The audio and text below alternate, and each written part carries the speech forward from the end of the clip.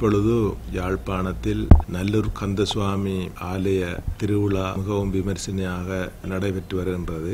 தேரோட்டம் எதிர்வரும் பதினேழாம் தேதி திங்கட்கிழமை நடைபெறவிருக்கின்ற அதே வேளையிலே தீர்த்தோற்சவம் பதினெட்டாம் தேதி இடம்பெறவிருக்கின்றது. இந்த நிலையிலே தற்பொழுது பக்தர்கள் அதிகளவில் அந்த நல்லூர் கந்தனை தரிசிப்பதற்காக வந்து கொண்டிருப்பதை நாங்கள் அவதானிக்க முடிகின்றது.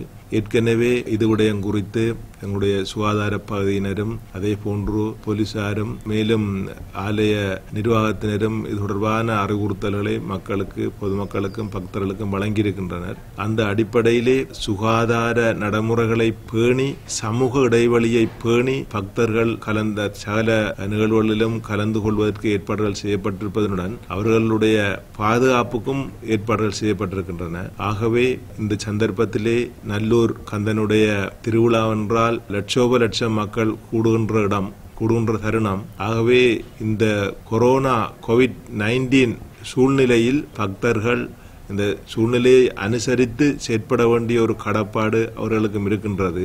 ஆகவே இந்த வருடம் நல்லூர் கந்தன் ஆலய திருவிழாவிலே இந்த சுகாதார நடைமுறைகளை பேணி சமூக இடைவெளியை பேணி அங்கீகரிக்கப்பட்ட எண்ணிக்கையில் மக்கள் செல்வதற்கு தான் அனுமதி உண்டு.